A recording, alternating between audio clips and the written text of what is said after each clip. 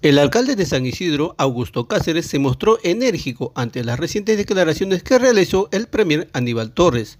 Dichas declaraciones constituyen un delito y procederemos a denunciarlo ante las autoridades correspondientes a fin de que le caiga todo el peso de la ley y sea sancionado ejemplarmente, agregó el burgomaestre San Isidrino.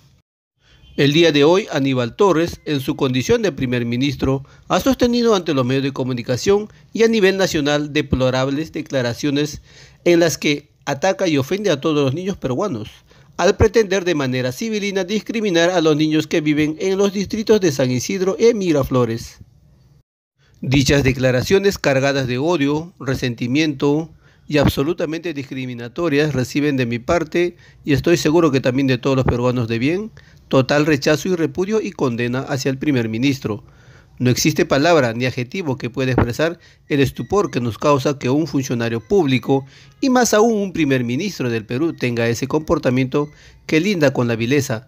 Por esa razón, como dichas declaraciones constituirían un delito, procederemos a denunciarlo ante las autoridades correspondientes a fin de que le caiga todo el peso de la ley y sea sancionado ejemplarmente, afirmó el alcalde San Isidrino.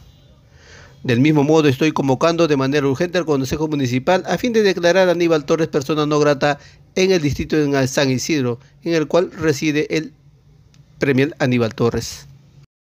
Como todos los ciudadanos honestos del Perú, esperamos y rogamos a Dios por el más pronto término de este nefasto gobierno manchado por la deshonestidad y la corrupción, agregó el alcalde de San Isidro, Augusto Cáceres. Finalmente, ¿y ustedes qué opinan? ¿Creen que el premier Aníbal Torres debe de ser denunciado penalmente por sus recientes declaraciones contra los niños de San Isidro y Miraflores? con su mensaje cargado de odio y resentimiento, debería de ser sancionado ejemplarmente y ponerle un estate quieto si es posible una camisa de fuerza y mandarlo al arco Herrera. Déjame tus comentarios, dale like al video, comparte el video con tus amistades, suscríbete a este canal Informa Pero Noticias y sin más que decirle me despido hasta un próximo video. Chao, chao, hasta luego.